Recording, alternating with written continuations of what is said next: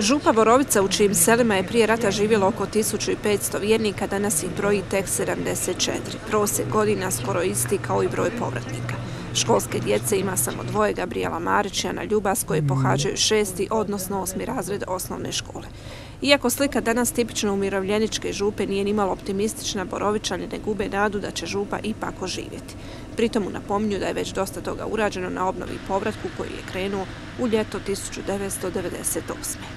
Bitno je napomenuti da je prije rata ovdje živjelo, živjelo oko 1500 duša u župi Borovica, koja to znači pokriva Borovicu u Donjom Osredak, Položac, Borovičke njive i tako dalje. Živjelo oko 1500 duša. I radilo je, uglavnom su ljudi radili u Varešu, u Rudniku, u metalnoj industriji, stolarija bila i tako dalje. I radilo je negdje oko 350 do 380 ovaj, ljudi u Varešu.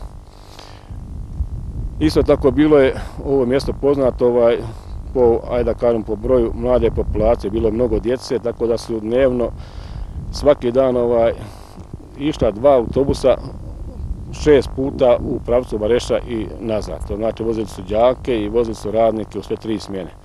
Evo danas je to spalo da nema nijednog ovaj, zaposlenog u Barešu. Jedino tu žive penzioneri od svoje mirovine, interesantno napomenuti, ovaj, ljudi, se žele još uvijek da vrate u Borovicu.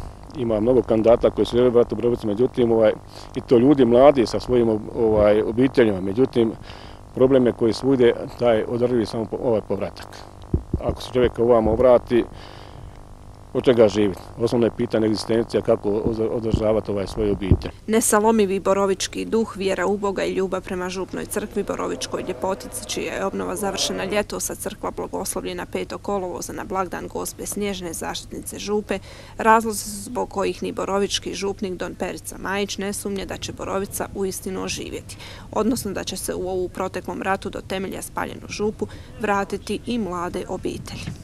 Mm, ja sam mlad svećenik koji kada sam došao ovde, inače sam rodom iz Posavine gdje je Bundava, najveće brdo, sad živim trenutno na 1200 metara nadmorske visine, kada sam došao ovde i prve zornice, tog nikada neću zaboraviti, dogodi se, svake se godine to dogodi, da nestane struje, i e, idem otključavati kapelicu ili crkvu i vidim ih u koloni sa baterijama kako idu prema svojoj crkvi slaviti svetu misu u vremenu do šašće. To će se dogoditi ovdje prvi puta u novoj našoj župnoj crkvi i to je jedan primjer gdje se oni ne boje gaziti metar snijega da dođu na svetu misu.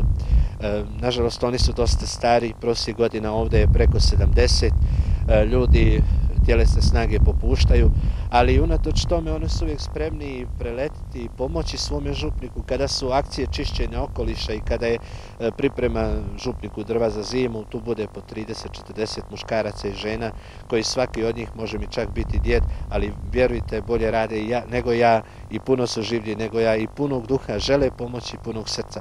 E, oni meni pokazuju i meni oni sami daruju tim svojim stavom prema životu jednu određenu snagu.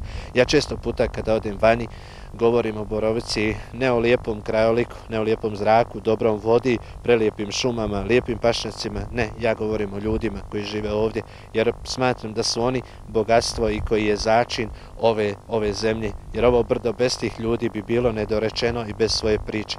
Ja sam uvjeren da će oni živjeti, jer to je narod koji je naučio podnositi žrtvu i živjeti zajedno sa žrtvom, ali u toj žrtvi oni ne mijenjaju svoj, svoj identitet, nego ga nadograđuju, upravo nadograđuju ga snagom uvjerenja da će moći nekome nešto dobro učiniti i da će moći donijeti taj svoj križ do punine nekakvog smisla. Za sve skeptike koji još sumnjaju u budućnost Borovice, Župnik ima odgovor. Često puta sam znao voditi polemike sa Borovičanima koji nažalost nisu do sada nikada svratili tu Borovicu. Da li će Borovica živjeti, nema smisla tolika ulaganja često puta ja im pokažem samo sliku patrona, pokažem im sliku Božića, Uskrsa, pokažem im sliku, ne znam, blagdana Svetkovine svi sveti koja je bila nedavno, pokažem im, vidite ovo, tu ljudi dolaze, to ljudi neće zaboraviti. Mi ove godine smo imali dva povratnika, hajmo reći. Ja i sada kao župnik kada odem u Zagreb, u Hrvatsku, kada odem u Hercegovinu, kada odem vani, često puta dobivam upite župniče, hoće li biti šta od moje kuće, hoće li biti, ja bi se vratio, kada bih imao nekakva sredstva da bi mogao za svoje obite zaraditi, ja bi se vratio. Ja sam uvjeren da u zajedničkim snagama i uz pomoć raznoraznih prijatelja sa raznih strana svijeta ćemo moći omogućiti nekim, hajmo reći, mlađim zdravim obiteljima da dođu ovdje i da na neki način budu pokretačka snaga jedne budućnosti jednoga sutra. Uvjeren sam da će se jednoga dana dogoditi to da će Borovica zaživjeti i atraktivnim očima gledano. Kada gledam atrakciju tu postoje djeca, tu postoje mladi, tu postoje mlade obitelji, to je zdrava sredina. Turizam i stočarstvo dvije su djelatnosti koje bi u istinu mogle oživjeti Borovicu, odnosno vratiti mlade obitelji s djecom. Borovičani su se već bacili na osmišljavanje projekata, računajući na pomoć dobrih ljudi diljem svijeta, zahvaljujući kojima su uspjeli realizirati dosadašnje projekte poput obnove žurne crkve, izgradnje puta te obnove elektro- i telefonske mreže.